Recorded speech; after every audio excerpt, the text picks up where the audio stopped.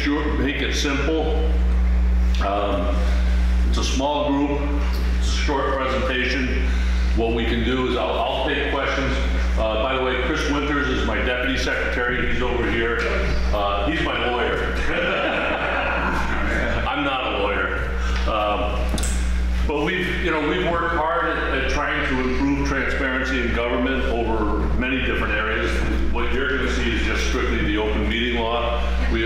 transparency tour, we also do the Public Records Act, how to get public records, uh, and what qualifies as a public record. So what I'll, what I'll do is just, if you have a question, stop me and I'll, I'll answer it or try to.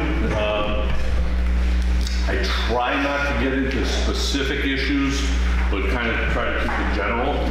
Um, We're, we're not considered a legal source for answers, but we do try to offer what the law says and, and explain how the law is written. So we'll just go from there and get started. So why are we here? We're here because democracy, accountability, and openness Key point to remember, the public has a right to know.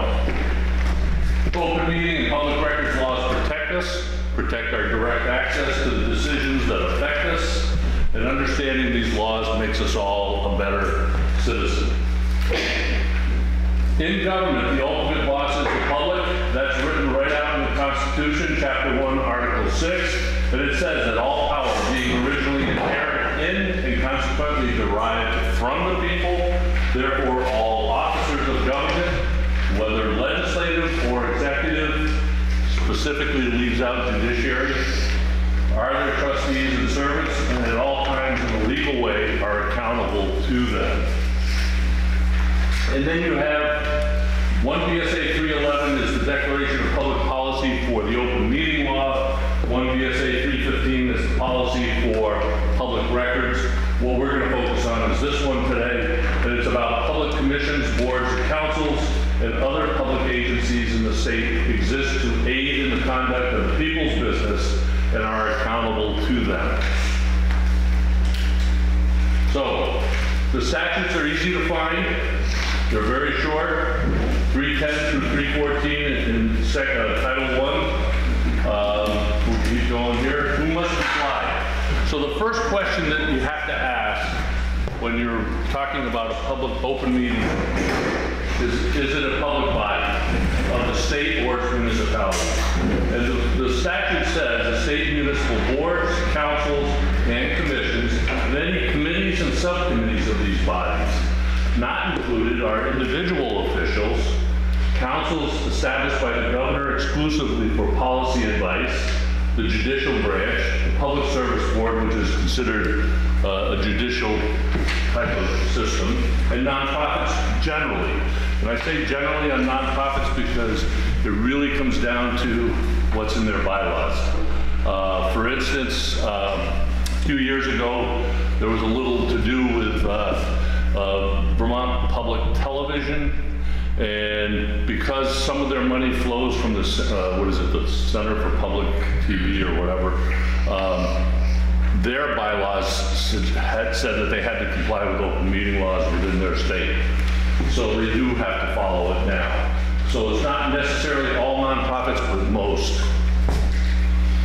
So when does the open meeting law apply? Anytime quorum of the board needs to hold a meeting. What's a quorum? A quorum is a majority of the entire public body. And as I understand it, Bruce, you're a three-member select board, so that means two members are a quorum. So anytime two members of the select board are together, they're considered a quorum. There is something called 1 VSA 172, which is joint authority. When joint authority is given to three or more, the concurrence of a majority of such shall be sufficient and shall be required in its exercise. Essentially, what that's saying is you've gotta have two votes to pass something. So you couldn't have, first of all, you can't have a meeting of two, one person, uh, and then have them vote to pass anything. They, they still need two votes. And the same goes with three members, you need two to pass. Does the justice of the peace have, have to be present during those meetings? Uh, Select board meetings? No. You know, a JP during, oh, only the select board, but not a, okay. Anytime you have a board or a commission, it's this, it's, it still has to be a quorum. To, to transact any business, you have to have a quorum of, of that board. Okay. So if you have a five-member board, it's three. If you have a three-member board, it's two. Seven-member board, it would be four. But I always thought even though whatever that number is, a justice of the peace has to be present to witness, No. not to, okay. No, and then a meeting, the gathering of the quorum of a public body for the purpose of discussing business or taking action. So it's the business of the board. So if, if, and this, this, to put it bluntly, if, actually you could have all three members of the select board meeting at a coffee house. They just happen to show up there. As long as they're talking about the Red Sox or the Patriots or whatever, they're fine. But if they start talking about the budget, they're in trouble. Unless they warned it. Uh, So it's the business of the public body. The public body's government functions including any matter over which the public body has supervision, control, jurisdiction, or advisory power. So it's pretty simple. Quorum can meet as long as they're not talking business. But if they want to talk about anything else, their vacations or whatever, they're, they're fine. There's not a problem with that. So a meeting can occur regardless of the physical location. There's no exception for work sessions or retreats. We often hear people say, well, we had a work session, therefore we didn't have a, a formal meeting. There's no such thing in the statutes as a work session or a retreat. They are considered meetings if you have a quorum and you're discussing the business of the town.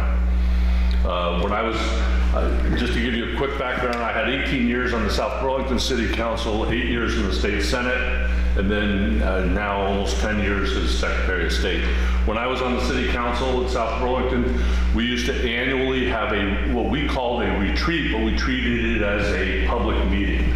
So we would warn it, we would post it, we would allow the public to come to that meeting, even though we were talking about strategies for the next year or whatever, that we were, you know, looking at what, what did we want to accomplish, we would always uh, publicize that meeting.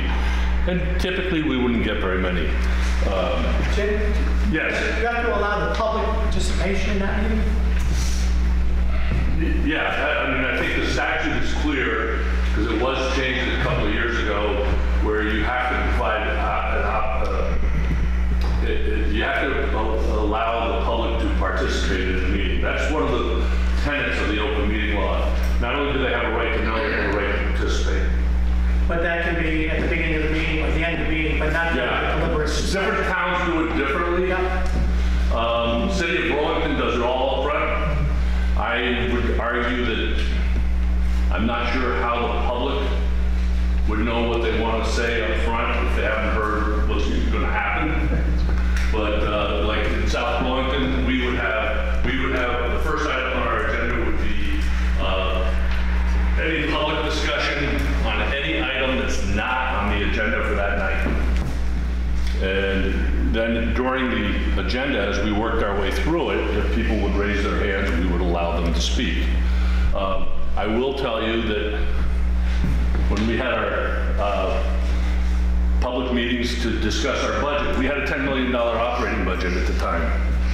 And we'd have maybe two people show up from the public, and they wouldn't say a word, they'd just sit there and watch us. Then maybe three weeks later, we'd have a public meeting to discuss the leash law uh, in South Burlington. And we'd have, it wasn't gonna cost a dime. 150 people would show up, 75 would be for it, 75 against it, and they all wanted to say something. So, uh, so meeting, you also have to be careful, this is the newest thing, and this is mainly because of social media and emails. But a meeting can come together over a span of time, so you have to watch out for email strings and social media discussions. Now, there was just, was it today, there was a story about where- in Williamstown, uh, said to their select board, stay off of Facebook. Even on the town website, uh, because you can't get yourself into trouble. What about uh, then Facebook or that the town has an account or doesn't, thinking of having an account to celebrate community events? And then a second question, I won't raise my hand again, is uh, meetings after the meeting adjourns, where there's a Great little question. social So- thing going on, and what about this, and what about... So first, let me say that there's nothing wrong with the town having a Facebook page to broadcast meetings, to broadcast um, events that are going on, the farmer's market, whatever. Nothing wrong with that. But if all of a sudden it devolves, if someone asks a question, hey, Bruce Hyde, what about this issue? And then all of a sudden, the rest of the select board starts chiming in, you've now got a de facto meeting going on. So you have to be careful about that kind of situation. The other situation, we actually had an example of that up in the Northeast Kingdom. I get this phone call from a reporter asking me, um, is it okay for the select board to adjourn their meeting and then start discussing the budget with the treasurer? And I said, well, were they, was it a warned meeting? Yeah, but they'd already adjourned. I said, then no, of course not. Now, uh, I wasn't ready for the next day when the, across the top of the paper of the Caledonia Record, it said, Secretary of State says illegal meeting. Um, So I had to answer a lot of questions, and one of them was from the select board chair who called me up and said, "You don't understand." And I said, "What didn't I understand?"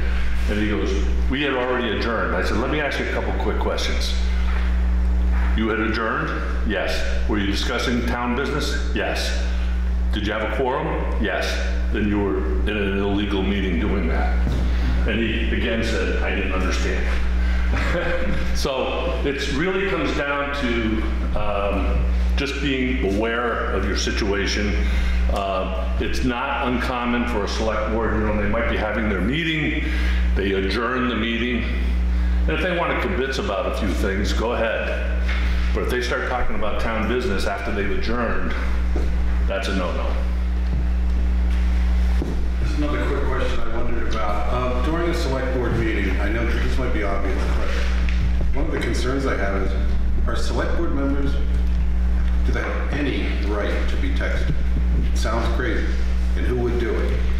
But it's a concern of mine where, up wherever they sit, they could be texting information to themselves, and the, the, the group, or the, uh, you know, the, the public isn't seeing what's really happening. It's a weird thing, but it's something I'm kind of concerned about. Um, I I would, I would caution that select board to be very, very careful about that. Right, well, I'm just saying, Uh, Your, first of all, your texts are considered public records if they're talking about town business. Okay. So someone could demand to see what your texts were, and that's part of the right to know that the public has to, and to participate. And if you've got select board members texting back and forth, Right. well, I don't think we should pass this or whatever. Yeah. Um, Well, it might be naivete too. Oh, I didn't know I couldn't do that. Well, It's just like the guy in Burlington that said, oh, I'm sorry, I just didn't understand. Well, the next day, the next week, you would have answered 10,000 questions. He did, his ignorance didn't work. It's, it's really, it, first of all, the, the folks that are on the select board should know the laws, they should review these laws, they should review what the open meeting law is about so that you, you understand them. Um, But you also need to understand what public records are. And unless it, any, any record created by a governmental body is considered a public record unless it has an exemption that prevents disclosure. So every record that state government creates is considered public unless there's an exemption. And there's a lot of exemptions, there's about 260 in the statutes uh, that allows certain information, medical information, personal ID information, those kinds of things. But there's also a lot of other, I mean, I had uh, Chris and I were dealing with a, um, the VPR reporter about uh, cybersecurity on our election system, and he insisted that I give him the report from a test that we had done on our system. And I told him I wasn't going to give it to him, that I did, I was, I had an exemption that I could use, and I said, really, all you need to know is that we received a report and we've acted on it. And he said, but the public has a right to know. And I said, well, but the public also has a right not to have all the information in this particular instance. And I said, if I do give it to you, the first thing I, I said to him was, if I do give it to you, I might as well put it in an envelope and write on it Vladimir Putin, the Kremlin, and send it because, you know, the, the Russians are gonna get it. Jim, if I could just add on, on text messaging, the fact that you're asking this question is why we recommend against it happening in meetings. And I've been guilty of this myself. As a member of a school board, I might be texting my wife about, am I gonna make it back in time for the soccer game? But no one out in the audience knows that. And it's kind of like, they don't, they don't know who I'm texting, what I'm doing, it'd be like passing notes during a meeting and the public is not privy to whatever conversation is happening up there. It's supposed to be out in the open with everybody able to hear what's, what the conversation is. So even if it's innocent, it doesn't look that way um, to someone sitting in the public like, like you're describing. Well, this brought up a question I called, I talked to the, uh, your, one of your people, Jenny. She's your. General counsel. Yeah. I had this big question yesterday, and I don't mean to take too much time, but I asked her if select board members, including the town clerk, take the oath of office. In other words, they certify, whether before the American flag, that they are going to apply and sit- hold still, hold true the Vermont Constitution and probably the US Constitution. Both. And we, yeah, but I don't think many people things that I'm seeing realize they're under oath. And that's, uh, we won't get into details in what town, but, uh, I think some of the people might want to remember that they signed a certificate, whether they held their hand up or not, that they are committed to the foundation of the Constitution. It's it's always, it's always an issue. Uh, If people are running for office in that town meeting day, then do we have a right as a- uh, voters to ask them to commit to take open meeting law training?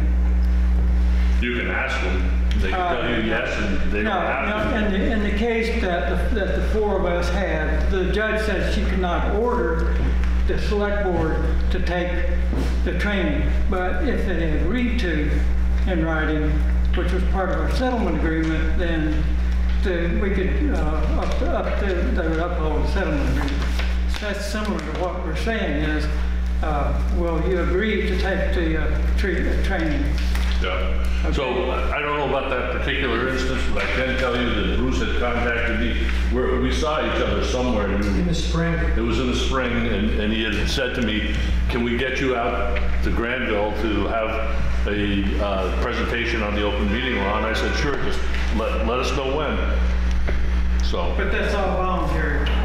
Well, Yeah, you know, so- I I tried to get all of our commissions and boards to attend tonight, but we cannot You can't require- force them. We cannot require our planning commission, our conservation commission, our cemetery commission to come to us. I'm not saying that, I'm saying when a person is running for select board, can we ask them to commit that they will take the training? Sure you can. All right, and then hold them to it. And then that's up to you to hold them to it. Yeah. So. Well, Bruce has told us, take it to court, no, go to court. That's what, and that's what we, the four of us did.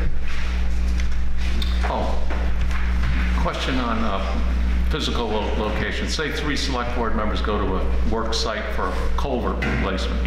Does that have to be noticed?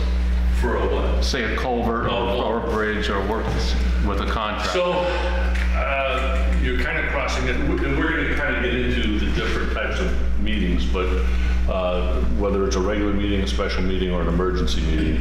Um, But let, let me just say that as- if a select board is going to meet, if the full, if a quorum of the select board is going to meet, I don't care if it's here, or at a school, or uh, at someone's house, uh, or at a- on a street corner, if three of them are, are meeting and they're talking about business of the town, then they probably should be, not probably, they must, uh, you know, call an agenda and call it a special meeting.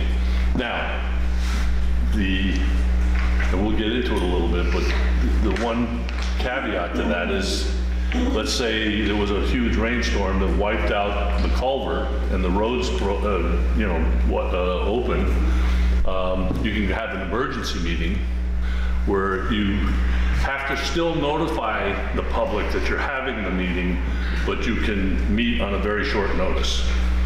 So we'll get into more about the, the meeting structure itself. Yes, ma'am? I'm a cemetery commissioner, and during the summertime, we hold our meetings at the cemetery.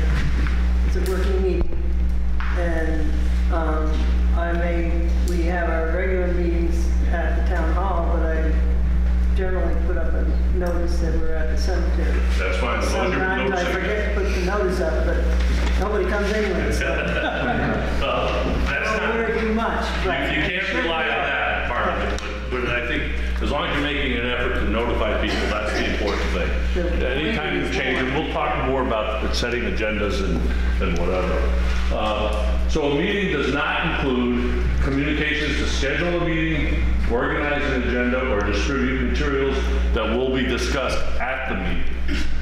Or it doesn't include clerical work or staff work assignments, routine day-to-day administrative matters, no action is required and no money is appropriated, site inspections to assess damage, to make tax assessments or abatements, quasi-judicial deliberations. Quasi-judicial, this would probably be more in your zoning board or, or planning commission, depending on how you're set up. A meeting also does not include occasions when a quorum of a public body attends a social gathering, a convention, a conference, a training program, press conferences, media events, or gathered or otherwise gets together, provided that the public body is not discussing the specific business of that body at the time of the exchange. The, and the participating members expect to be the business of the public body at a different meeting that's scheduled a gathering of a quorum of a public body at a duly warned public meeting of another public body, provided that the attending public body does not take action on its business. So if you had, let's say, the select board calls in the planning commission to discuss stuff with them, as long as it's being noticed and that the planning commission is not taking action, they don't have to notice that they're coming to the meeting, because it's going to be on your agenda, Now, That was our question last, exact question. okay? Um, We're presenting zoning changes, and they're going to go to the select board Monday night.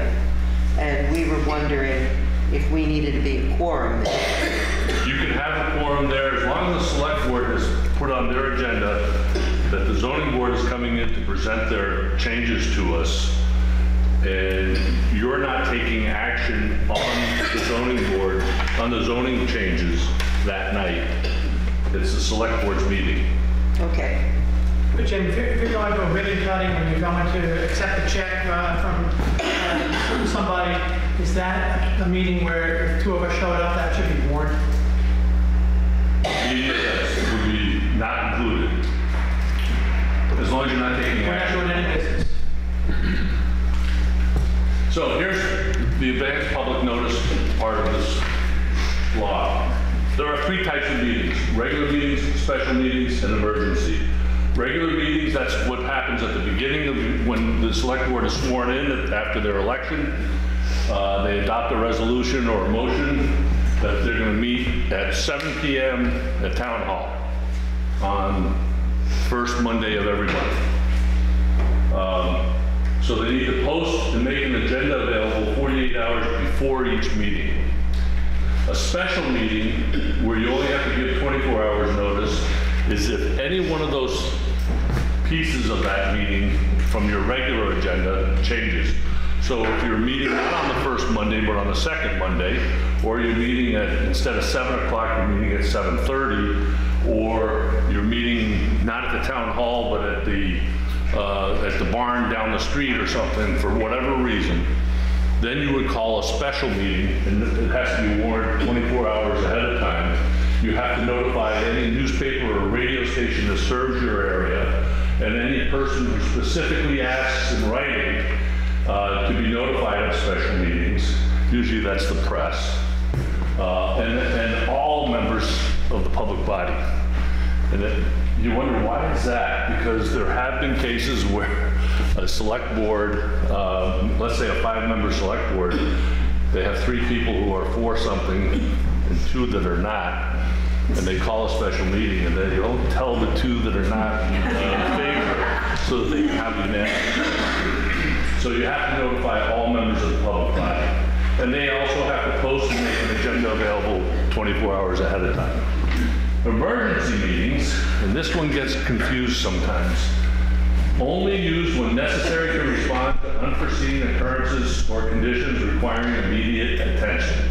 You must give some public notice as soon as you can before the meeting. So, 2011, September, you remember this well. 2011, there were hundreds of emergency meetings going on throughout the state of Vermont after Hurricane Irene hit us. Uh, Those were emergency meetings. They were meeting at this culvert, at that bridge, at this washout, whatever it was. Select boards were meeting all over the state, trying to get a handle on what was going on. We've had occasions where um, my old town before, I- since I left, um, they called an emergency meeting because they forgot to sign a contract on their Monday night meeting. So they called an emergency meeting for Friday morning. Uh, I called up the town manager and I said, well, that would actually be a special meeting, and you, you certainly could have met the 24-hour notice. Instead, they were calling it without telling anybody on, on an emergency basis. The other thing that I, I always try to explain to people is the first item on our agenda has always been, are there any changes to the agenda? Second item is, does the public have any comment on anything not on the agenda? So the first item, sometimes our town manager would say to us, I gotta add two items to the agenda tonight that need to be discussed. So we would say, okay, he would hand out some documents, and we would say, we'll add it to the agenda after item number three, um, but we will not take action on it until we warn it on a meeting that we're gonna take action. So that the public has a right, because the public has a right to know, to attend, and to participate. And it's very simple. The public has a right to know, to attend, and participate. And you should not take an action on something that has not been warned for action uh, at your select board meeting. uh, without the public knowing about it. Question. Yes. When you're warning uh, in these uh, special or emergency meetings, does the warning have to say uh, Hancock Select Board special meeting, or is it just regular meeting out of sequence? Uh, no, I would, I would call it a special meeting, uh, the uh, Select Board's meeting to discuss whatever and- set your agenda. Yes, sir. Let me give you a hypothetical. Um, That's some public notice. Suppose it's the middle of the night. Suppose taking action is a matter of public safety. People could be hurt or worse. What do you do? Do you wait till the next morning and put it on the bulletin boards? And maybe somebody doesn't make it because you did that? What do you do in the middle of the night if if it's an emergency and there's no communications, there's no radio stations on the air? Right. How do you handle it? So again, emergency meetings are only used when necessary to respond to unforeseen occurrences requiring immediate attention. You must give public notice as soon as possible. Public notice could end up being after, but at least you notify the public. I mean, if, if something, let's say the town hall is on fire Okay. in the middle of the night. Exactly. Um, What threw me is you said before the meeting. Well, Yeah. It's, if you can do it before the meeting, that's the best, but you have to notify the public that you should take an action. And, uh, I mean, that is quite vague, and I understand that it needs to be, but um, I'm wondering, if, Bruce, I don't even know, maybe you have an answer. Like in 2011, were there minutes when everyone, like, when people were standing around the culverts and nobody had phones Probably or not. internet? Yeah. The law changed since then. Oh, this is, No, there are minutes, there are napkins. And, and that's very possible. It's very possible. They could, I mean, I, I would not be surprised if there were select board members meeting at someone's kitchen table and taking just a a napkin and, and writing down, this is what we're gonna do, uh, and getting it written down, but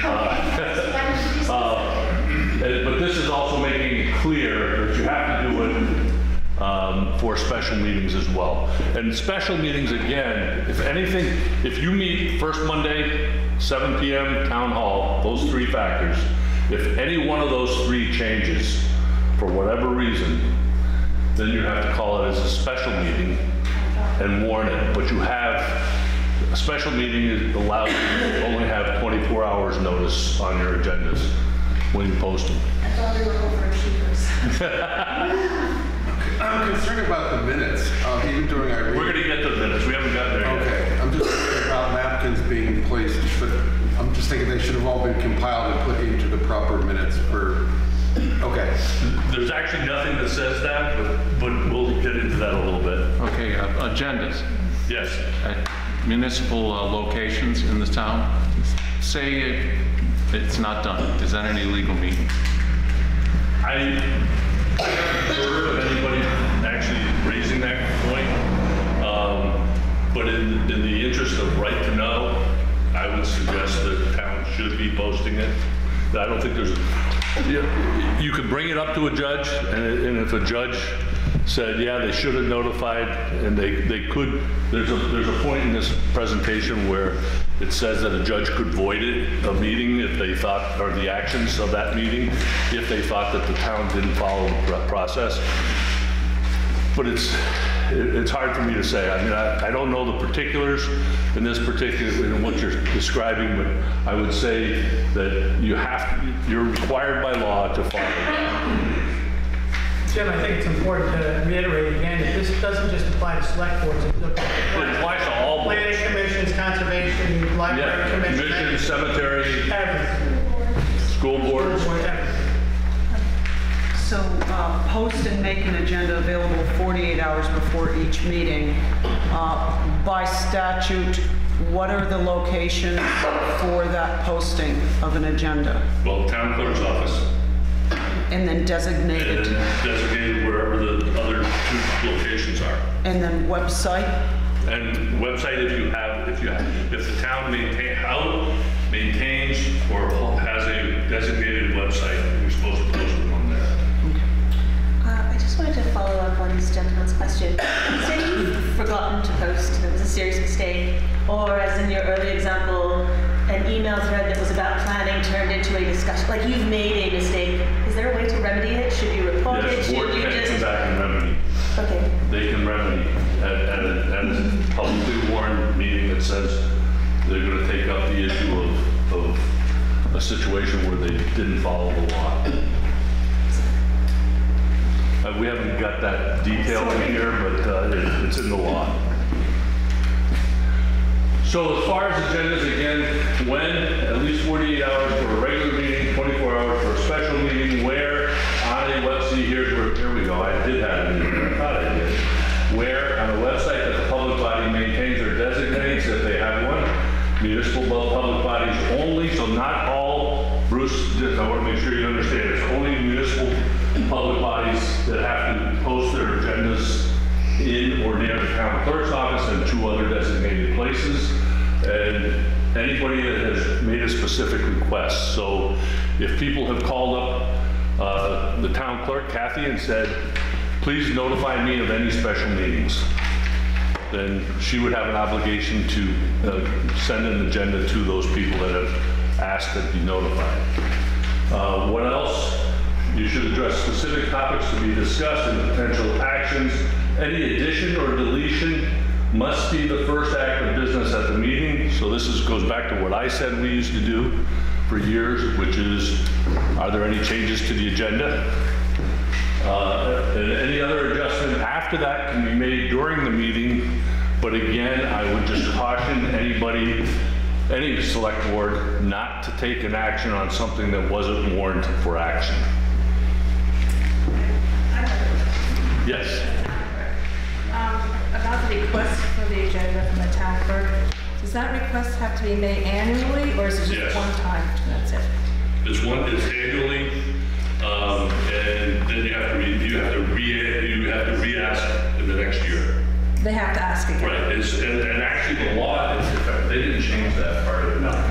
So the law says, if you, if someone puts, if John Smith says to you, I want to be notified of any special agenda, any special meetings, um, from January to November, then it's for whatever time he, he notifies you for the rest of that calendar year. No, for calendar year. Per calendar?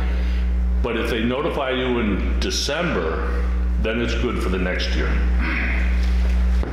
If They could ask a blanket, I want all the agendas, all the public bodies. They could, Right. they could. Could, is that of the town clerk or the clerk of the select board or? Uh, it would depend on each town, Okay. how they're set up. I I think in many cases, it is the town clerk that, it- that has the agenda in front of them, but I don't know how your town is set up as far as that goes. Minutes, what are they? They give a true indication of the business of the meeting, covering all topics and motions. At a minimum, and this is this is, I want to be really clear about this. So at a minimum, you want to notice, you want to put in your minutes what members of the board were there, who any active participants were, any motions, proposals or resolutions that were proposed, and what happened, what were the votes, the vote results. And if, and if there was a roll call for that vote, you want to put that in there as well. Um, I think with three members, it's hard to have a roll call. Jim, if- you know, when, uh, it says all business, um, when you had your dog leash thing, you had 500 people show up, you didn't have to say, John Smith said this, and John. Actually, that's a great question because what we did and what you can do by the law, if you look at what is actually in statute, this is all it says.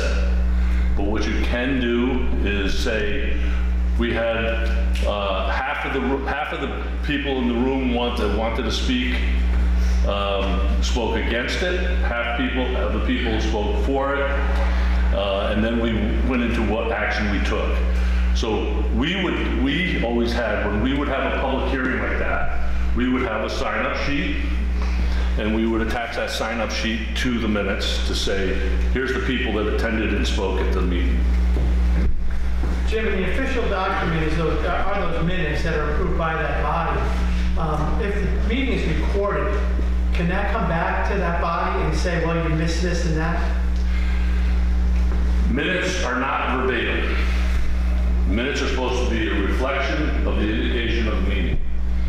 And so if there was a whole section that was missed of something that you took action Off the agenda, off the agenda, um, then you could amend your agenda, uh, your minutes. my understanding would be if you had a bunch of people come in and said, you know, we got a real bad problem on our road, we need to get it fixed, we would listen to that perhaps, may not put it in the, in the, in the, in the meeting minutes for that meeting, but add it to the next agenda, to the next meeting. Yeah, I mean, I guess, I don't think there's anything in the statute that would require that. to- You could do that. Um, statute. Okay. It's pretty short. It's pretty short. The minutes shall include at least the following minimal information. So this is setting the lower bar here as to what's uh, required in minutes. All members of the public body present, all other active participants in the meeting, all motions, proposals, and resolutions made, offered, and considered, and what disposition is made of same. And fourth, the result of any votes with a record of the individual vote of each member if a roll call is taken. And that's all it says on That's all that's required. You can do that on one page. active participants. So is that the public? I would say anyone in the public who spoke. So then you should have included 500 people that talk about the leash law. Listing them as present. Um, Just very quickly, if you, have you ever gone in and been to a meeting and then you go read the minutes and you go, oh, wait a second? So I, a lot of times. I haven't, but I have heard of that happening. Right, so sometimes minutes are interpreted by the town clerk, and you read what the town clerk wrote and what actually happened, and it's like, and then it gets into the newspaper, and you go, no, wait a second, that interpretation is So, proper. the, the thing, and I want to be really cautious here. Minutes are not verbatim. Right. Minute, minutes will not cover what every person that was there said. Um, and I, we get calls all the time where people will call us up and say, but they didn't write down what I said. That's okay. Yeah. As long as they had the tenor of the, of the discussion, uh, it- it's okay. They don't have to write down what every, each and every person said. What they have to do is give you an indication of the business of the meeting. So people spoke for it, speak- people spoke against it. Um, You know, you've attached a list of people who spoke or who were active participants. Uh, That's what we did when we had the 150 people show up for the leash law. We attached a list of people who signed in that night and said, these are the people that were in attendance.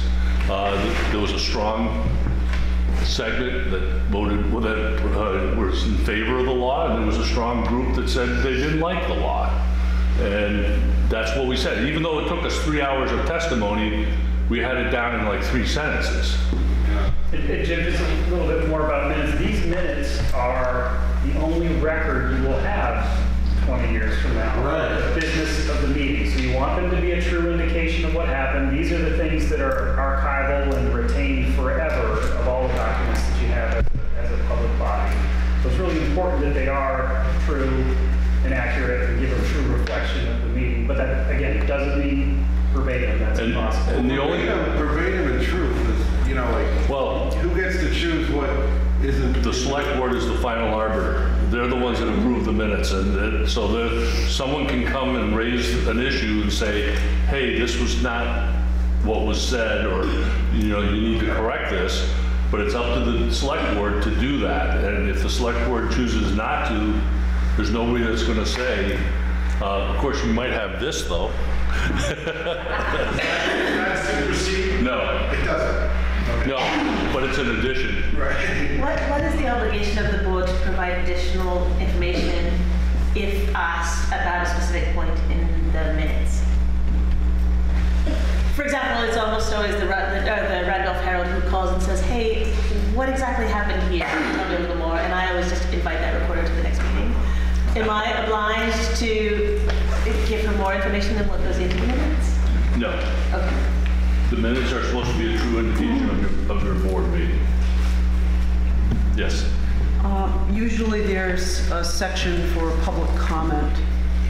If a member of the public raises a topic that is not included on the agenda, where your leash law issue was the reason for the agenda, so you can group everybody's opinion under one. If a member of the public raises a topic that is not on the agenda, and that topic uh, pertains to public property, municipal property, traffic and safety on a public right-of-way in the town. Um, I believe that that should be included in the minutes, or at least perhaps the select board answer should be, thank you very much, we'll note it, we'll put it on our next agenda. So public comment period. Um, We, we made a habit when people would raise a public comment in that period for items not on the agenda, we would hear what they wanted to say, but we wouldn't react to it. We would, as I think Bruce said, put it onto the next agenda perhaps, or a future agenda coming up, depending on timing. Should it be included in the minutes that it was raised if it, re- if it's relevant to a municipal issue? I mean, I would, but I, I don't, I, there's nothing concrete about that in the law. But we would, we would say, you know, so-and-so raised this issue, we'll take it up at a future meeting. Yes, Like, ma'am. for example, um, maybe this is an example. My husband and I would stop, would, would go, um, select board meetings, um, and just go to the pub, for public forum to make a comment. And we would, at one point, we, um, wrote a letter to the select board that we submitted during those public comments. The contents of that letter were not in the minutes, but the fact that we spoke and what we spoke on was just in the public forum. Um, And, and Like, they, they were here to speak about, and they spoke about this to us. Well, and, and in that particular instance where you submitted a letter, that letter would be a public record. Yes. So someone would have that in the town offices. So. Uh, When do minutes have to be posted? No later than five calendar days after the meeting, and I want to be really clear, that part of the law hasn't changed in over 30 years. What did change about five years ago, I think it was, Probably more than that. yeah, maybe seven years ago, was that they should be, they, they need to be made available for inspection and copying upon request within that five-day period. But now they added, the legislature added, posted to a website if the public body maintains or designates. So, uh, they felt, the- the- there was a lot of select boards out there who were not posting their minutes. Or the last set of minutes that were posted were, you know, January of 2018. And here we are in September of 2019. So what, what the legislature said is if you maintain a website, you need to post them within five days. So the five calendar days is the same as it's been for 30 years. Now, I'm going to be the first one to tell you that not every town has followed that. But I would also be the first one to tell you that based on what the minutes are supposed to have, there's no reason why a select board can't put together a one-pager and just say, there are three members of the select board were here. Um, We had five people attend the meeting. There were no resolutions or uh, motions taken other than to adjourn and just have it, and then they can update the minutes at a later date. But the minutes are, and and Chris said it, the minutes are the history of your board. When you, when you uh, post those minutes, they're draft minutes. I don't think there's anything in the law that says draft minutes have to be approved by the body later on. They don't, but you have to have minutes, so Right. if, if you leave draft, uh, first of all, if you have draft minutes, I would say, make sure it's clear on there that they're draft. And then the law was, was, I don't know if I would want to call it, what was it, Chris? It wasn't really amended, it was just, it was added to it that said that you can replace your draft minutes with your permanent minutes once they're approved. If you post draft minutes and you realize that there is an error in those draft minutes, can you take them down and repost other draft minutes? Yes, Okay. And the first draft minutes would go Do you have to make note of that change? Mm, well, you probably are going to keep that in a file, but it's not, it's not like you would, the, the, the draft minutes essentially go away once you have permanent minutes. I can tell you that the documents that Chris and I, we draft and redraft and whatever, we have a file in our, in our computers, but Quick question, Jim. Um, Town hall meeting day, each article. Are there specific minutes to each one of the articles presented at the town hall meeting day? In other words, well, town meeting is a completely different animal from your regular meetings. okay, that's my question. But Yeah. Does the Uh, town clerk take minutes at the? I don't know, in your town, does the town clerk take the minutes at town meeting? Is that a responsibility of the town clerk, or is that just, It's, it- it's a responsibility of the clerk of the board, whoever the clerk of the board is, and they may designate the town clerk to take those minutes. They also, they also might, like in South Burlington, when I was there, we had a specific person who would, a a woman who was retired that came in and um, would, would take the minutes, record it and take the minutes so that she could write them up. I, I thought there was a statute that said the town clerk, regardless who's the clerk of the board, is required to take the annual minutes. I don't, I'm not positive on that. No? That may be, um, in a lot of towns, the town clerk does take the minutes, but I'm, I'm speaking about minutes of the regular meeting, I'm not talking about town hall, or town meeting day. I'm talking about the regular minutes of. yeah, no, I realize that, but it's just a a bigger question for town hall meeting day, and I was just curious if the town clerk's responsible, you know, for taking minutes per, per article or per conversation as they go down the articles. In other words, article number one, does she or he make notes and take minutes of people's? Well, I would assume Or do they that do a that- big? I would assume that, it- that she would be keeping minutes based on, if she, whether it's, it's the town clerk or anybody else, that they would take minutes based on each article that comes up. Okay, So you would have some kind of a description of what happened for that article, including a vote. okay. Kathy, is that what you do? Yes. Thank you. Yes, ma'am. Hi, I just want to have a clarification. So your commission meets and then you post draft minutes. Is it the draft minutes have to be between, no later than five calendar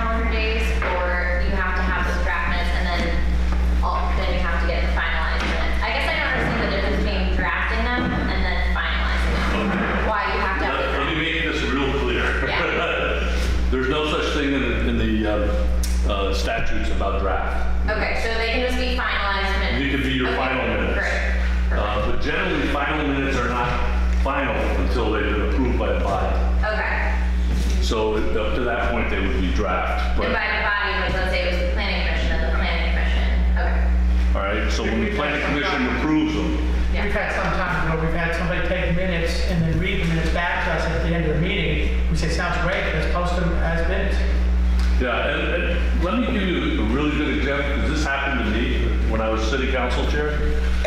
Um, We had a city manager, and when we went into executive session to discuss his evaluation, we, we always would leave the, the town hall part of the meeting and go up to his office and close the door.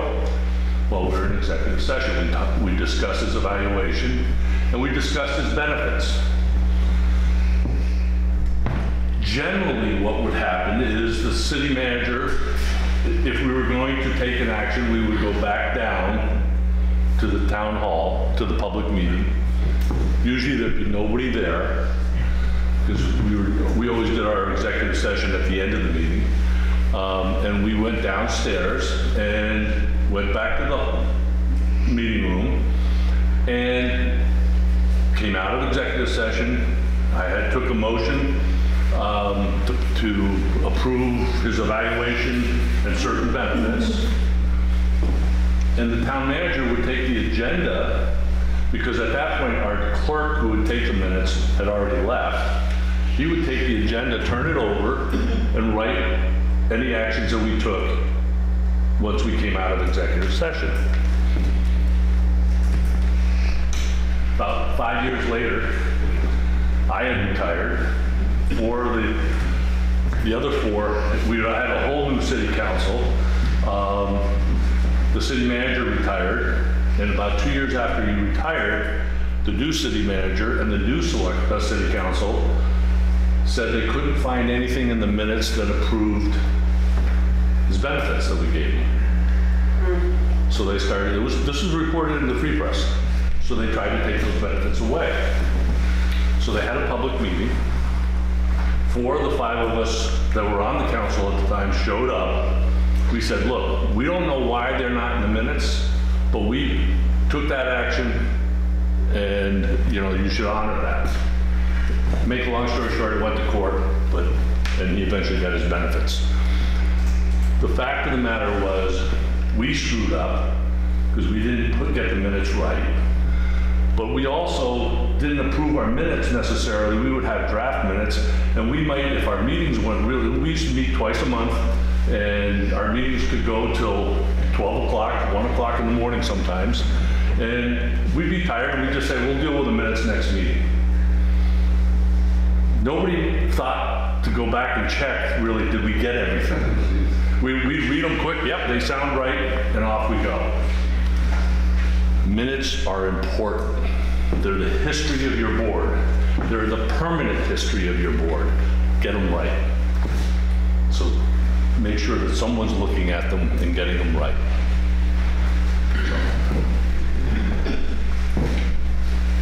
When can the board meet in private, which is normally called executive session? So what is it? It's a closed portion of the meeting. There's no more public involved. When is it appropriate? Only if the business to be considered fits into one of 14 categories, and only if the public body moves to enter from an open meeting. So we hear this often, where a to- a town normally has their select board meeting at 7 o'clock. And they post the meeting that they're gonna have their, they're gonna go into executive session at 6:30, and then the public meeting at 7. They have to go into the public meeting first, before they can go into executive session. Keep that in mind. You have to be in an open meeting, and then take a motion and indicate what reason, why you're going into executive session, and it can only be for talk, not action, with the exception of one thing, real estate options. If, if you're going in to fire someone from the, from the city or the town's, uh, uh, staff, you can't do it in executive session. You can discuss it, but then you have to come out of the meeting and actually take a public, have a public motion to do that.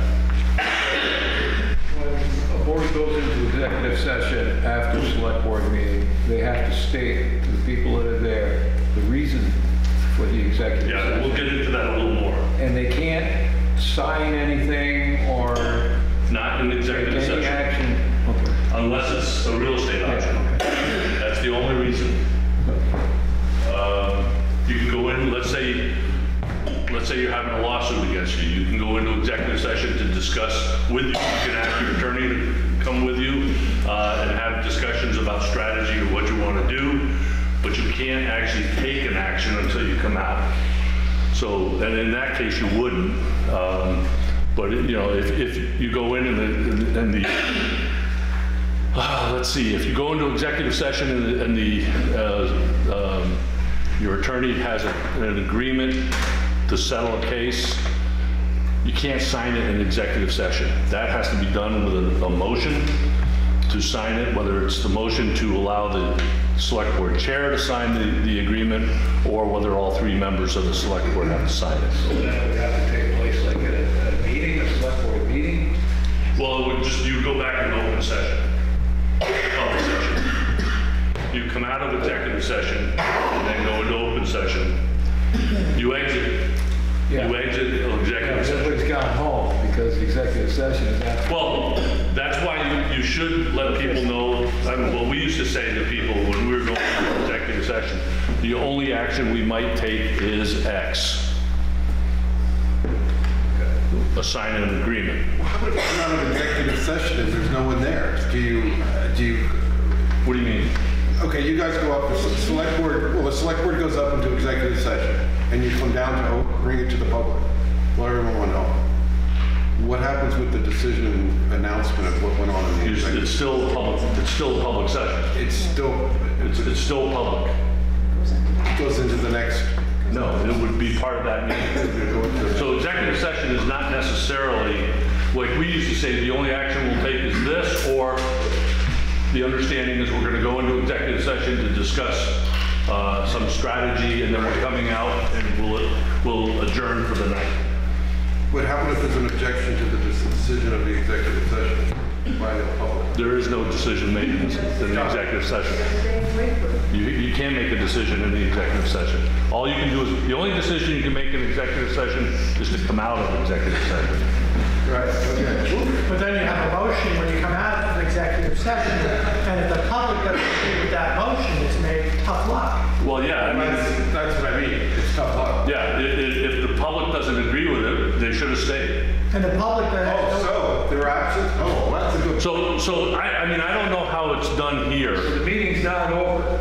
but it The is. meeting is not over because they went into executive session. Right, I Public get has that the right to stay there and wait. The for- public has the right to stay, and if, and it might be, I mean, I don't know if you hold your executive sessions right here. This or- is different towns too, Jim. but the- Yeah. This, the, uh, the public doesn't have a right to know what went on in that executive No. session either. No, they don't have a right to know. They don't know what it's about. But if you come out of the executive session to take an action, the public has a right to hear or understand what action. action. voted three to two to take this action. Well, what happens in the executive session, if if it's, if it's a done deal, does the public still have the opportunity to?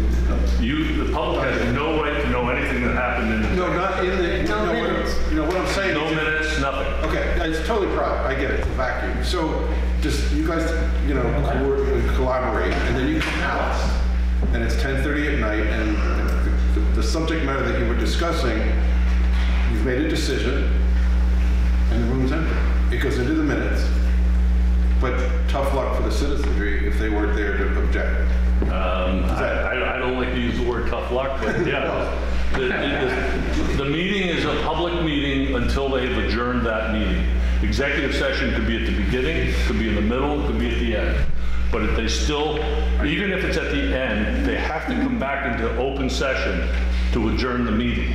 Wow, I wonder how many things get done without anyone. Well, it depends on, I mean, I don't know how, I, I- I have no idea, and I'm not gonna say how, how they do their meetings here. I know we used to do ours at the end of the meeting, and then we would actually say, as we were going into executive session, we would have the motion to go into exec- executive session to discuss X, Y, and Z. And the understanding is that the only action we will take is to adjourn the meeting.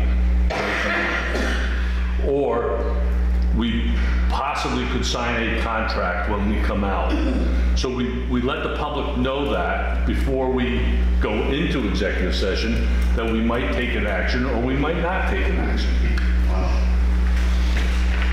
There are 14 statutory categories Yes. of those. Let me get to them. So, the permit, some of the permissible reasons for going into, uh, the executive session are that there's a specific finding, for instance, on of that premature public knowledge would clearly place the public body or a person uh, involved at a substantial disadvantage. And that is specifically about contracts, labor relations agreements, if you have a union, arbitration or mediation, grievances, uh, potential or probable civil litigation or prosecution, of which the public body may be a party, and then confidential attorney-client communications. That's just part of it. There's another page here that has other ones. But with these, whoops. With these, is whether premature public knowledge would clearly place the public body or a person involved at a disadvantage. For instance, labor relations agreements, if you have a, I don't think you guys have a labor union here, but uh, in South Burlington, we had labor unions. We had police union, fire union, public works union.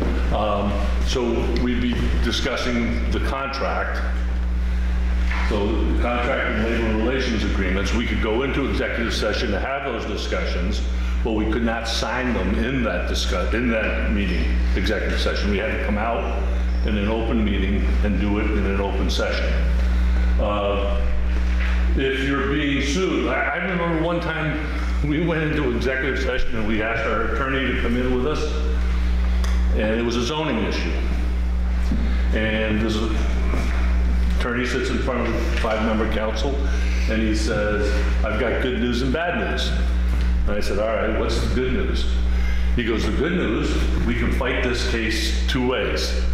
I said, "What's the bad news?" He says, "We're gonna lose both." And I looked up and down the city council, and I just said, uh, "Unless I hear an objection, please go settle this, whatever way you can. The point is, you go into executive session with your attorney to discuss uh, communications and perhaps strategies or how you're going to fight a- a uh, a lawsuit, how you're going to deal with it. Um, That's permissible. The other permissible reasons are negotiating or securing real estate purchase options, which is again, the only thing you can actually take an action in private. Uh, The appointment, employment, the evaluation, discipline, or dismissal of a public officer or employee, student academic records, exempt public records uh, from a Public Record Act. So if there's a, if uh, there's a discussion to be had because someone has requested specific public records, you can go into executive session if there are specific exemptions that prevent disclosure. Uh, Clear and imminent peril to public safety. Uh, Let's say there's a dam up the hill and you, it's about to breach, but you don't want the public to know yet until you've got a strategy on how you're going to deal with it, you could withhold that information until you have a strategy. Uh, That's a poor example, but it's an example. I don't know if there's a dam up above. Um, And then municipal, this is the newest one, is municipal or school uh, security or emergency response measures. After some of the mass shootings that were occurring, we were, there was a lot of um, requests for, by, of schools and and towns uh, for their um, emergency response plans and whatever. You don't want to give all that information out because you don't want the bad guys who might get a hold of it to know how to get in. So these are the, these plus these are the only reasons you can go into executive session. And if you can't go, in- if you go into executive session, let's say to discuss uh, labor relations agreement, and that's all you stated in your motion, you can't all of a sudden start talking about the evaluation of the town manager, because you didn't say so up front. You would have to come out, make another motion, and then go back in. So it's only what you specific, specified in your motion that you can discuss. And Jenny, you can bring anybody you want into that meeting. And you can, the select board can add anybody that they can say, I want the ta- the town clerk, our attorney, public works guy, whoever it is that they, they need to come into that meeting, into that executive session, they can request anybody. Can it be a citizen? It could be a citizen if, if it's pertinent, Yeah, okay. if it's pertinent. But it's also confidential. It's also a very confidential meeting. So, the latest thing that we've got is meetings by electronic means. So things have changed. It used to be that, you know, an electronic means was a telephone. But now you can do Skype and all these other things. Uh, A member participating remotely must first identify him or herself when the meeting starts and be able to be, to hear everything that's going on in the meeting and to be heard throughout the meeting. And if a quorum or more, so let's just say, in your case, there's two select board members are going to be out of town, but one is still here. Uh, They can still meet. The agenda must designate a physical location where the public can attend and participate, and where one member or designee must be physically present. So you- it could be that you say, the town clerk will be at City Hall to uh, man the computer or whatever um, for this meeting. We had, we had this happen to us uh, right after Act 68, which you might remember. Um, So Act 6, actually, Act 60, not 68, Act 60, the school funding law, back in 1998. There was a time period where after a certain date, it was July 1st, that any um, um, agreements between municipalities and businesses or whatever to state, uh, tax stabilization agreements, uh, that had to be in place by July 1st of 1998. Um, South Burlington manages, to be- is the host of Burlington International Airport, but it's owned by the city of Burlington. And we had a tax stabilization agreement with them for every 10 years. Basically, they say, we think it's worth this, we say it's, we think it's worth this. They file in court, then we agree to a tax stabilization agreement. We were due to have one, but we were, four of the five of us, or three of the five of us were gonna be out of state, uh, on vacation or at meetings or whatever. We called in, but we had the meeting scheduled, so the, the, the town manager set up a, um, speakerphone where the three of us called in on a conference call. The other two were there with the town manager, and we actually had a member or two of the public as well as a member of the press there to listen to the meeting. This was all before this was, this was available, but we were doing it back then. And the whole idea is that the public, again, has a right to know, a right to attend, and a right to participate. That's what you gotta keep in mind. Um, Any vote not unanimous must be taken by roll call, so you know how everybody voted. So here's, Is again, that, is that true in every, in every instance or just electronic? If you have a two to one vote, you have to say it's, these two voted affirmative and this No. one, no. no, but Only electronic.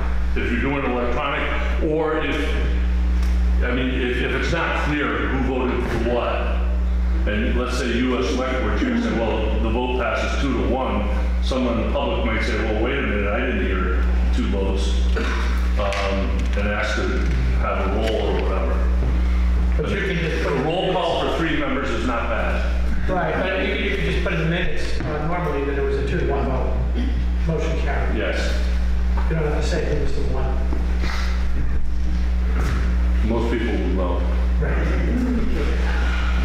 So, again, public participation, this is key to all open meeting laws. That's what it's about.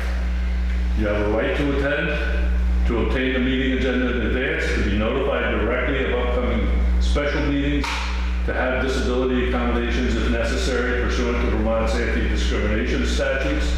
You have a right to participate and a reasonable opportunity to express opinions on matters being considered. Uh, and basically, it's enforce the law. So why comply? Meetings held without respect, respecting the details of the law may be considered illegal, and the courts may regard any actions taken in those meetings as voidable. More importantly, illegal meetings do, does offend our notions of openness, accountability, and our democracy. And in Vermont, the people rule, sometimes directly, sometimes indirectly, through our elected or appointed representatives, but always with the benefit of public scrutiny. Um, Again, following up on why comply, the following people can be charged with a misdemeanor and fine a member of the public body who knowingly, they, they really made this very clear now, a member of the public body who knowingly and intentionally violates the open meeting law, a person who knowingly and intentionally violates the open meeting law on behalf of a member of the public, and a person who knowingly and intentionally participates in the wrongful exclusion of a person from a meeting. So those people can be charged. The Attorney General or any aggrieved individual can bring a lawsuit in court asking for injunctive relief to stop a sp- specific behavior, uh, for a declaratory judgment, making a binding determination of what, what the rights were. And the law was changed uh, to include attorney's fees, which you have to win substantially in order to get your attorney's fees. So if, if a member of the public were to sue um, a, a select board and substantially wins uh, in the court decision, then they may, they could be awarded their But it attorney's doesn't work fees. the other way. But it doesn't work the other way. The burden's on government. Enforcement, written notice to the public body by the aggrieved uh, an individual or attorney general alleging that there is a specific violation and res- requesting a specific cure. The public body's public response within 10 calendar days, acknowledging that the violation did occur and stating the intent to cure it or stating that they don't consider it a violation. The public body's cure, if, it- if, it- if the public body acknowledges violation, must be within 14 calendar day- calendar days of the public response, either ratifying or declaring as void the action taken, uh, and adopting specific measures that actually prevent future violations. And the aggrieved individual's recourse if unsatisfied is to follow, file a lawsuit in Superior Court within one year after the meeting. That's it. Any other questions?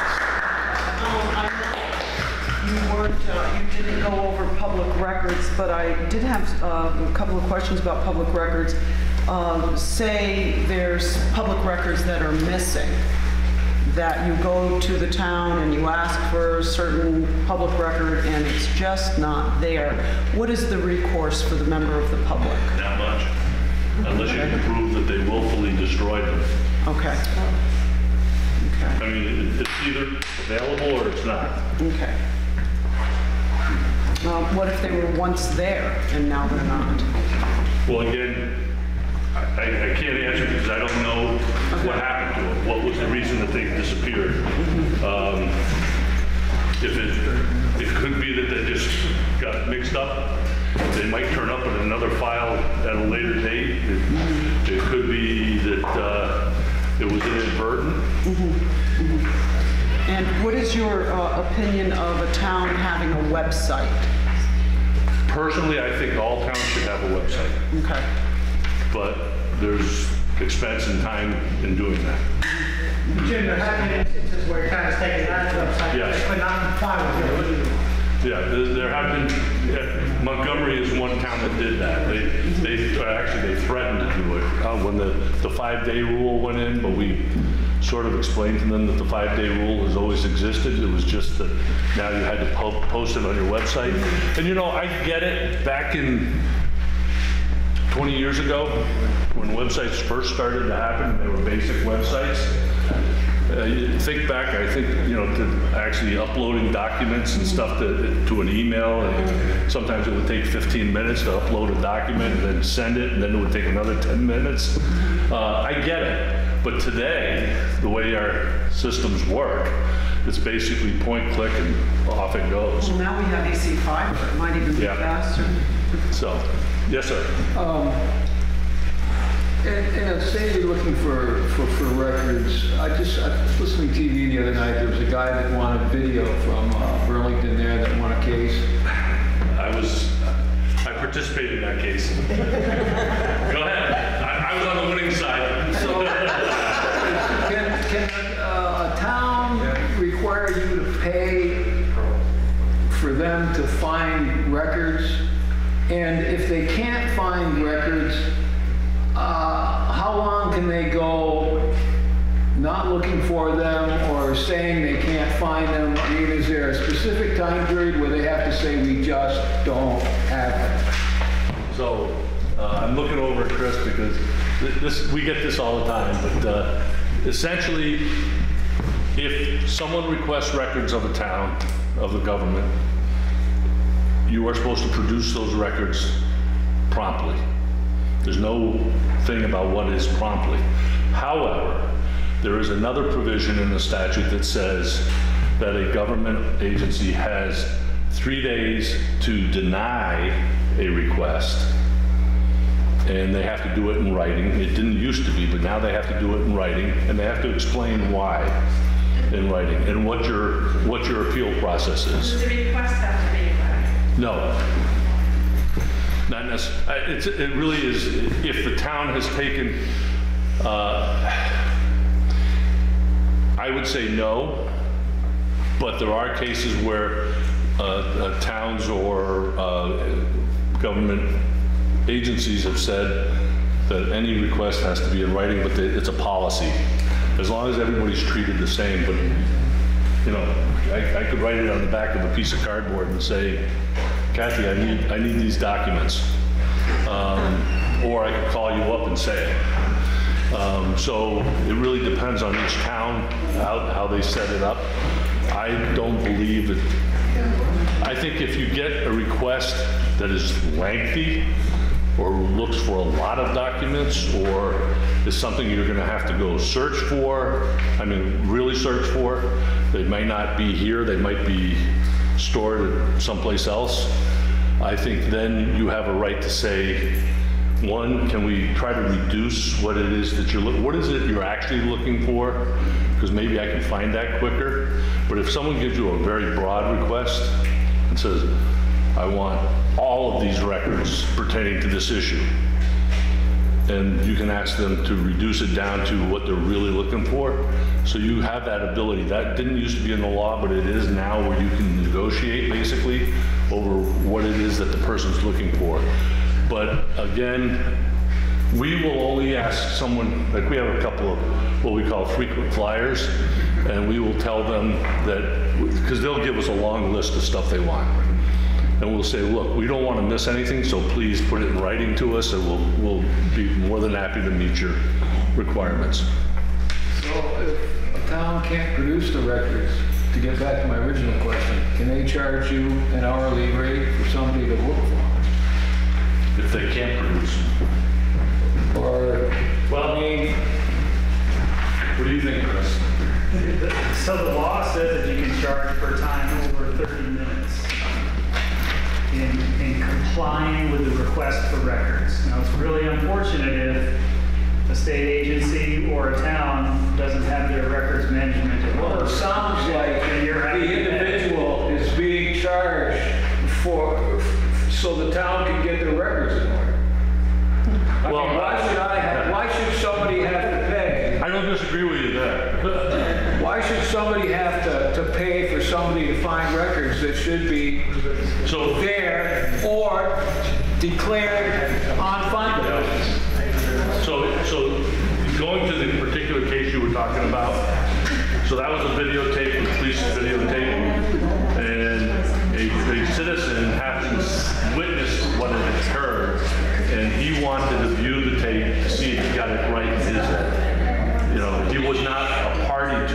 wanted to view the tape.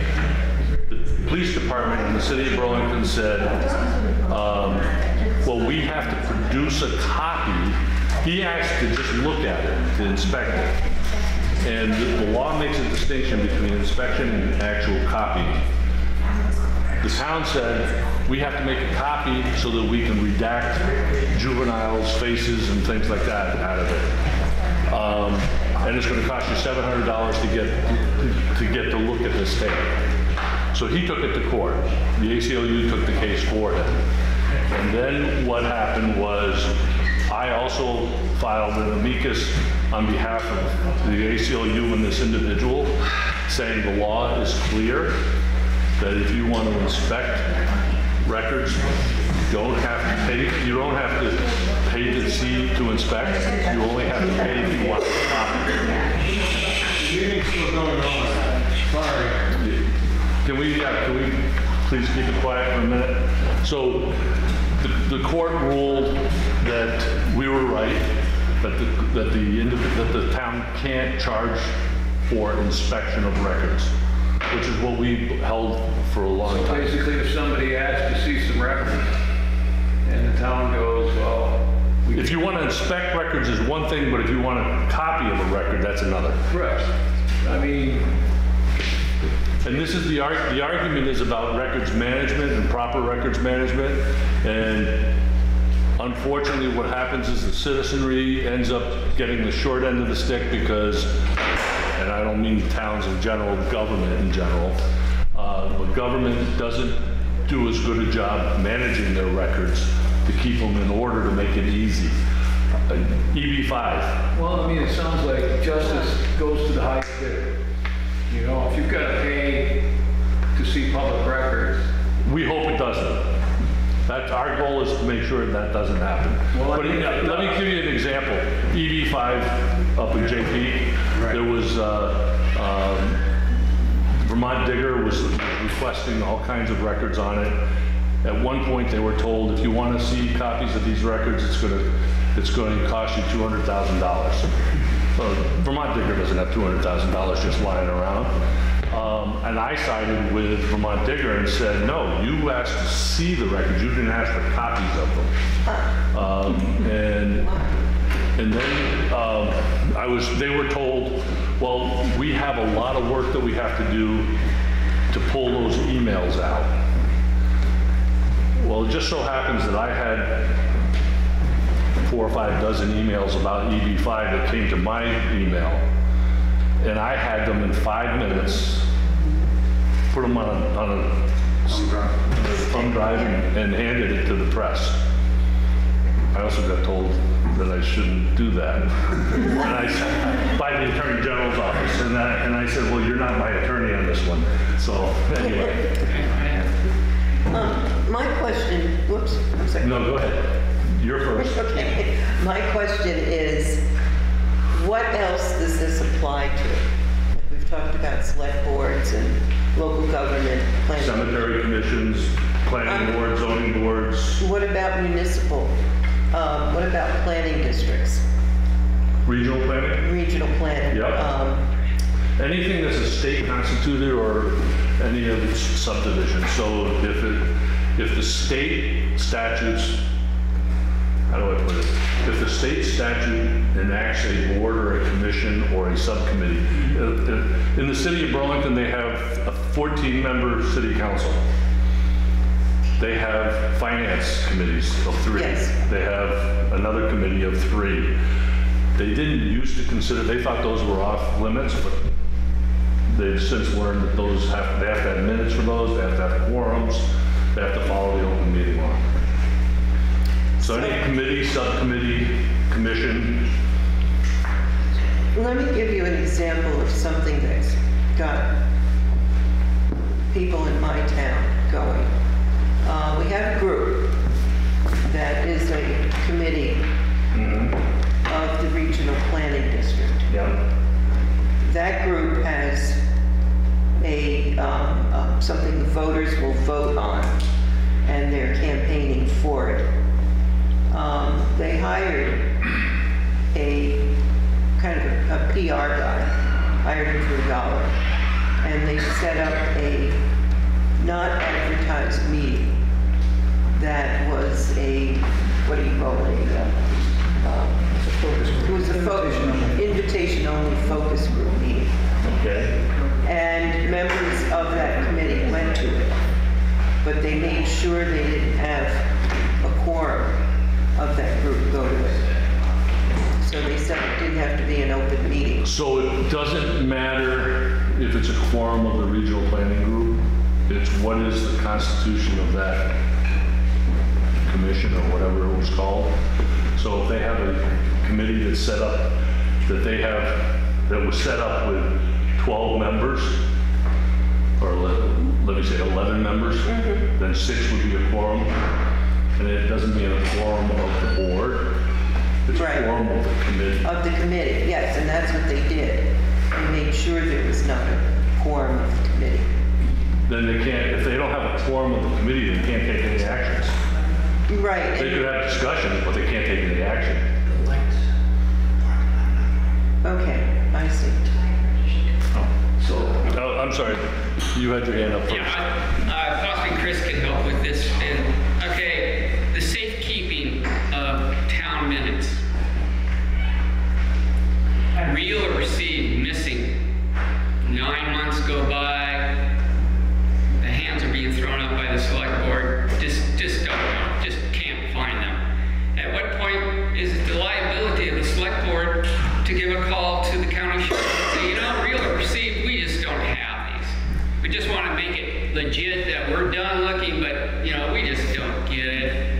The county sheriff in that list. I, I was asking So, so is your question, what's the, what's the remedy? What's the accountability of the? Well, who's the safekeepers? Who, who's liable? They're the record, the town is the custodian, is the official custodian, it's their responsibility. Uh, we have a state archives and records administration division. We have a state archivist who works with all the towns on record schedules and how to handle and preserve all What those keep- records. needs to be kept, for how long, or But, you know, permanent, there will be times when records miss. It's unfortunate, but it Well, happens. it's unfortunate, but what does the public expectations of having it finalized that they're just missing? Well, How does that? First of all, I would certainly hope that, that minutes don't show up missing. Um, And I would think that minutes, even if the actual minutes showed up as missing, there must be a record someplace. Um, But, you know, it's, Well, how about if someone went to a town hall and stole a piece of, like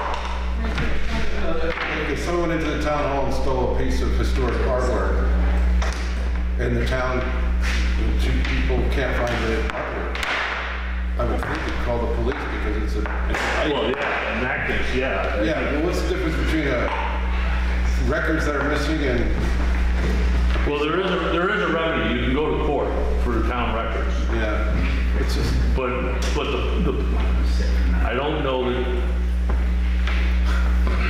I, I've never heard of not having their records. I've, I've heard them that they're misplaced or whatever, but I, I think that, you know, a town that would willfully destroy their minutes, boy, I- I've never heard of that. And, and that would be something that's charging. Yeah, that would certainly be something that's charging. I mean, say a particular town has a commissions, could be any commission, planning, uh, conservation. In that particular, and they're all appointed by the select board, the members of the mm-hmm. commission. And the commissions aren't abiding by open meeting law, by, am I, s- like, posting correctly. Who would you go to complain to? Would you go to the select board to make your, you would? And second, Well, they- first, I I would go to the the planning commission, let's say it's a planning commission. I would go to the planning commission and say, you're not following the open meeting law. And then it's up to them to say yes or no. And if you didn't like what they said to you, you could then go to the, to the uh, select board and complain to the select board that, that the planning commission isn't following the open meeting law. Um, But really, the towns is, the town select board is independently elected. Um, Are you appointed or elected? The, the, the town clerk is, is elected independently of anybody else. So, um, yeah, I'm independently elected. The governor can't tell me what to do. Um, and I remind him that I got more votes than he did. But that's over appointed, you would go to the commission, uh, You, yeah, the- I mean, the select board is responsible for appointing the members of the commissions and, and, uh, boards in the, in its town. Whether it's a cemetery commission. What recourse is there? They come and complain to the select board, and I say, hey, listen, I The talked to them, recourse- I know the open meeting law, I, I, you know, they're not posting, I understand that, what can you do? You fire, you get. It's called town meeting day. Right. I, I mean, really, it, it comes down to the actions of the people, the votes of the people are who controls the select board. Um, And I don't know if your planning commission, some towns, their planning commission or zoning board are also elected, but uh, most cases, they're, they're appointed by the select board. Um, So the select board has responsibility over those boards and commissions, and if they're not following the law, the select board needs to step up, and if they don't step up, you can go to town meeting and, Or file a complaint. well, you can file a complaint if, it- if they're violating the law. And uh, second, uh, would that be a topic raised? Would that be a Constitute as being a topic as a topic? and an active participant? You mean at at a meeting? Yeah. It on the agenda? Yeah. Um, You could raise it in, under the public comment period. You could ask that the select board add it to their agenda for a future meeting to take action on it. Um, But it's, um, Should it go in the minutes that a member of the public is complaining that open meeting law is not? I would hope so. I would hope so. Okay. That's clear. I do have a, a quick week. Um, subcommittees, are they responsible? I, there was some conversation about subcommittees, like say there's a budget committee or, the- Yes. you know, we're gonna They're- put, they have to they follow do minutes and all that, okay? And, um, vault research. I go in, I wanna go in the vault and look at stuff. Do I get charged by the hour to go in and just Uh, look? That's, uh, depends on each town and what the town clerk's fees are set up. Okay, and nonprofits, I mean, most realtors and lawyers pay a a vault fee. okay. Nonprofits, you mentioned that they don't have to follow uh, meeting minutes and all that, but I know you have a database on your webpage for all businesses, and then domestic nonprofits come up. You mentioned them having charters or bylaws. Would they be filed with the state? Okay.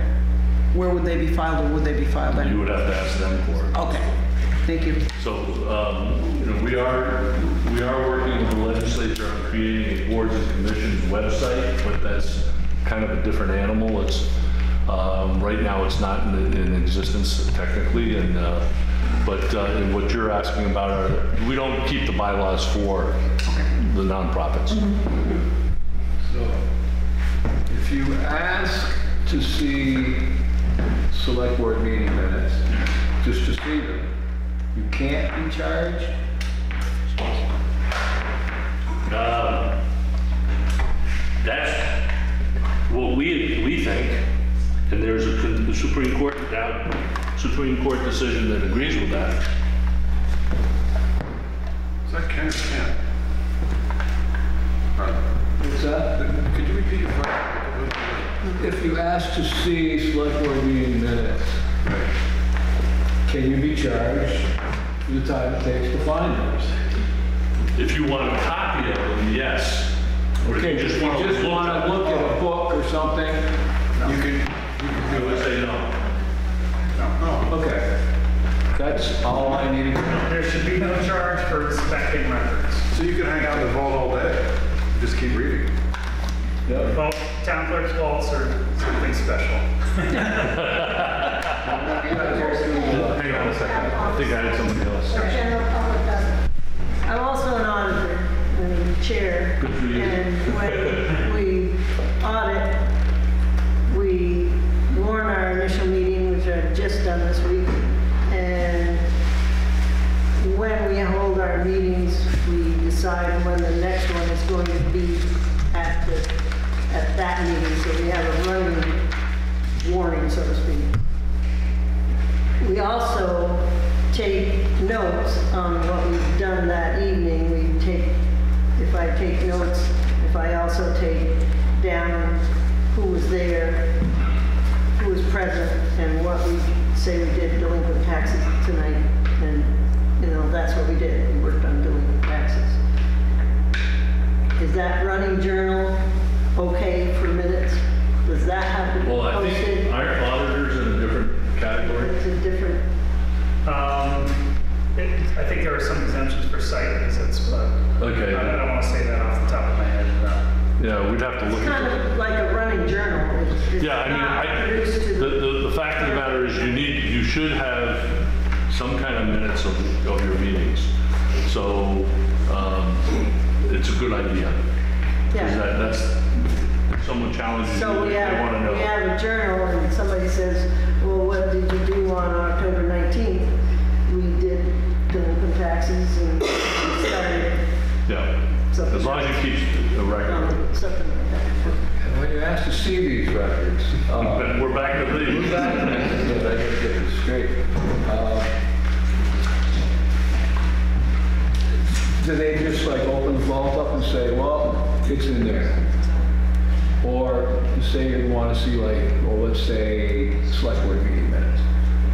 Well, Should I- somebody be able to say, well, let's see, if you're looking for, say, year 1930, 1935, it should be in that volume right there.